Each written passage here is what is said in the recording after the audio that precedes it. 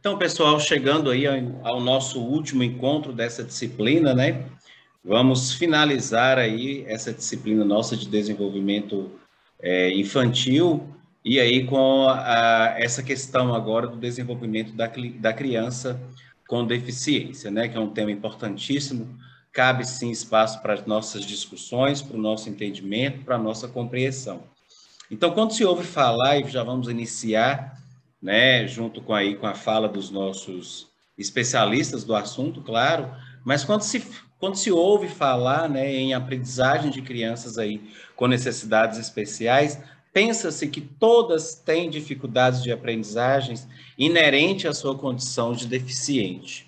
Então, existem pessoas com problemas físicos ou funcionais sem qualquer dificuldade de aprendizagens né, e outras que são prejudicadas em seu processo de desenvolvimento e aprendizagem devido à deficiência que possui.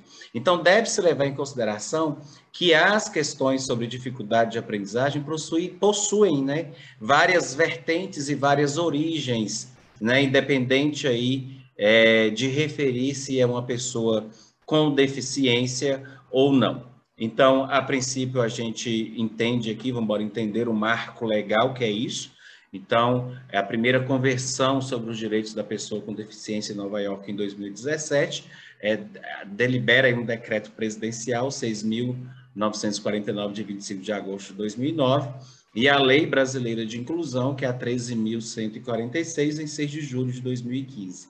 Então, cria aí um modelo social de deficiência, né? Considera-se pessoa com deficiência aquela que tem impedimento de longo prazo de natureza física, mental, intelectual ou sensorial, a qual, em interação com uma ou mais barreiras, pode obstruir a sua participação plena e efetiva na sociedade, em igualdade de condição com as demais pessoas, né?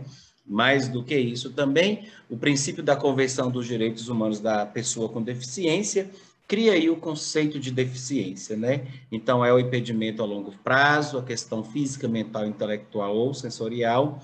Então, as barreiras né, atitudinais e ambientais geram esse processo de deficiência aí.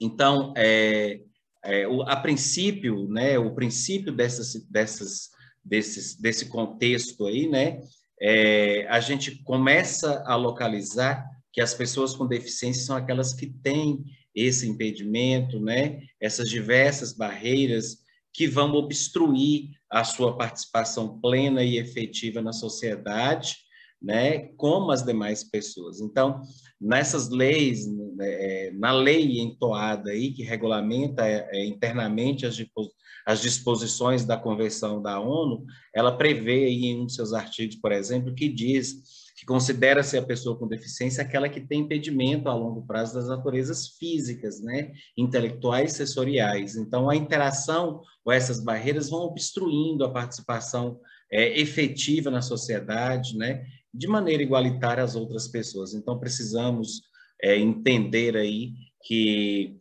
é, é precisamos ter lei, né, evidenciar aí o respeito à dignidade, à não discriminação, a plena e efetiva participação de inclusão dentro da sociedade, né? o respeito pela diferença e a aceitação da deficiência como parte da diversidade humana, a igualdade de oportunidades, a acessibilidade, a igualdade entre homens e mulheres, o respeito ao desenvolvimento aí das crianças com deficiência, né? Claro. Então a deficiência, ela é uma condição de vulnerabilidade, devido à exposição aí cotidiana das pessoas à interação com diversas barreiras que obstruem aí a sua participação social em igualdade de condições, né? Então, a ausência de cuidados aí na situação de dependência, ela é considerada um risco social por violação de direitos. Então, ter necessidade de cuidados e não ter acesso a eles violam, claro, o direito da pessoa com deficiência nesta condição.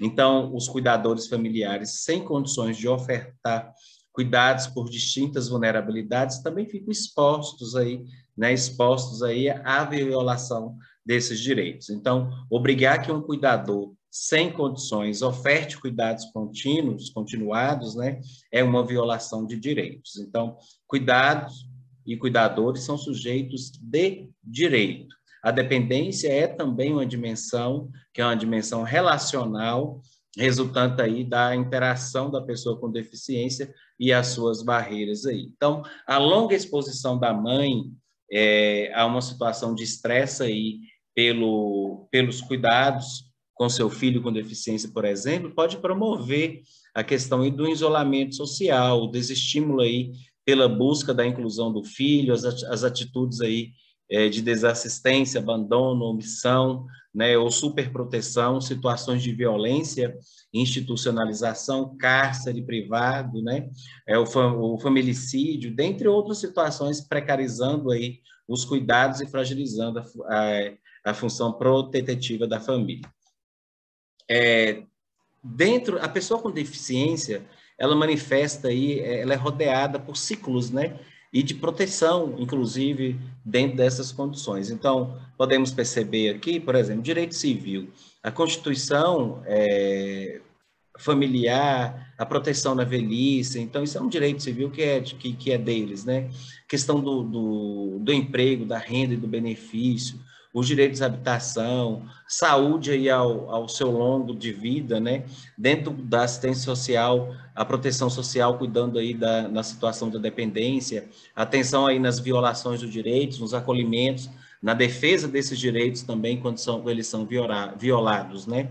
No campo da educação, então, temos aí uma perspectiva construtiva da, da, da questão da inclusão, então, desde a criança até o longo da sua vida, o direito ao transporte, acessibilidade, né?